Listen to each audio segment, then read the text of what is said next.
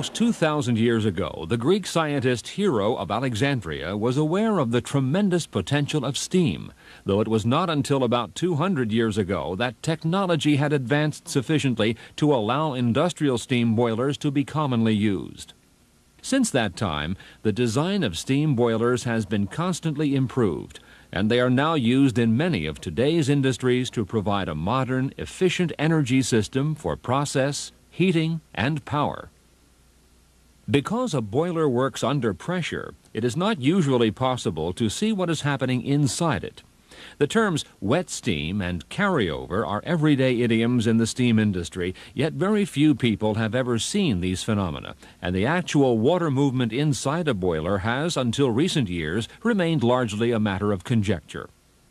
As we can only see the water level in the boiler gauge glass, and this is usually quite steady, many people quite reasonably assume that the water in the boiler is almost still and at a fairly constant level. We will demonstrate how two modern fire tube package boilers operate, one designed with an oversized shell and the other of typical modern compact design, and shows the effect of the following. Normal operation, feed pump operating with on-off water level control, high steam demand, normal TDS, high TDS. Let us look at a diagram of the first boiler, which we will call boiler A.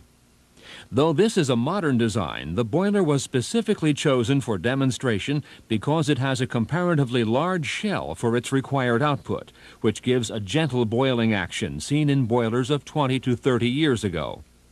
This is a three-pass boiler.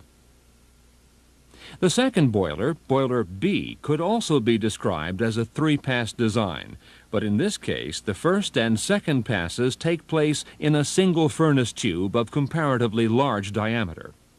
For this reason, it is known as reverse flame boiler. This particular boiler was selected for demonstration because it is of a very compact design and typical of a modern small industrial boiler. Here, the inside of boiler A can be seen viewed from the top left burner end of the boiler. Front and rear protection tubes are visible, as well as a horizontal stay brace running from the front to the rear of the boiler. The stay brace is visible at normal water level, unlike boiler B. With boiler B, the interior can be clearly seen with the bottom of the boiler manhole visible at center top. Behind this can be seen the low water probe protection tube. The steam nozzle is between the manhole and the protection tube, and though the steam nozzle itself is not visible, the water vapor which forms whenever the feed pump is on can be seen flowing upwards towards this point. Let us first examine both boilers working on a light steady steam load with a normal TDS level of about 3000 ppm. Note how even at this low, steady steam generation rate, there is considerable movement of the water and significant variation in its level. We can also see the need for a protection tube to smooth out the fluctuations in boiler levels if we are to have accurate level control. Here we see boiler B working under similar conditions.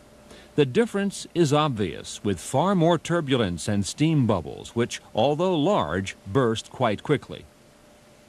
We will now reduce the pressure in boiler B from a normal 115 psi to 50 psi and observe the effect of firing at reduced pressure.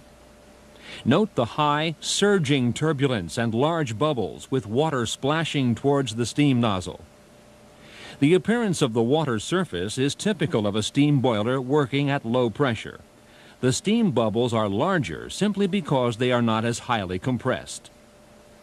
When the feed pump switches on, the first thing we can see is a mist which appears in the steam space as soon as the pump starts and disappears the moment the pump switches off.